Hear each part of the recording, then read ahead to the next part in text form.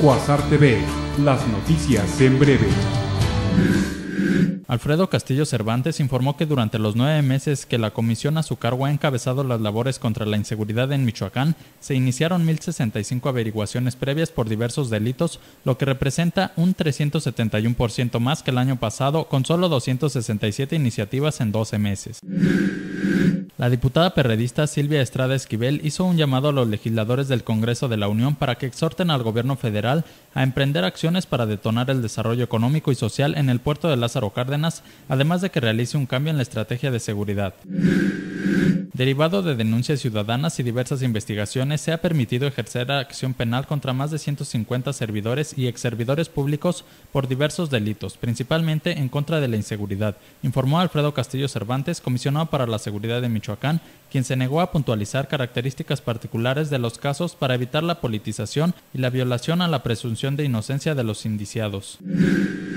Miembros de la Comisión Reguladora de Transporte y la Alianza de Taxis y Combis de Michoacán exigieron al presidente de la Comisión de Comunicaciones y Transportes del Congreso local, Rigel Macías Hernández, que se tome en cuenta para las decisiones subsecuentes en cuanto a la modificación de la ley actual y se inconformaron porque el diputado apoya el cambio de modalidad en el servicio urbano. A su vez, el legislador asegura que no se buscará este fin, sino la modernización de unidades para prestar un mejor servicio a la población.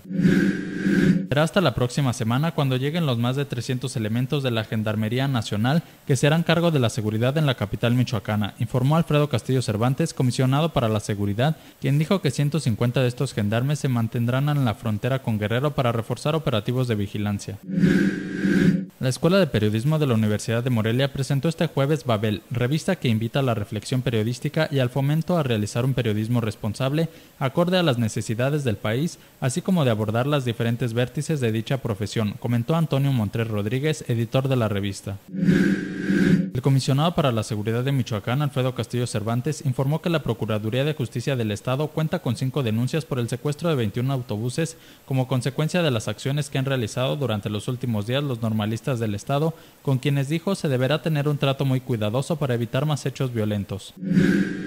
Con expositores de Veracruz, Chiapas, Oaxaca y el anfitrión Michoacán, entre otros, se llevará a cabo la Expo Orquídeas Morelia 2014, a realizarse del 16 al 19 de octubre en el orquidiario de esta capital, con venta de ejemplares, talleres de cultivo, conferencias y otras actividades. Con el objetivo de presentar avances e intercambiar experiencias de investigación, así como de dar a conocer soluciones a los problemas fundamentales del desarrollo y modernización del Estado, se puso en marcha la novena edición del Congreso Estatal de Ciencia, Tecnología e Innovación y tercer encuentro de jóvenes investigadores del Estado de Michoacán.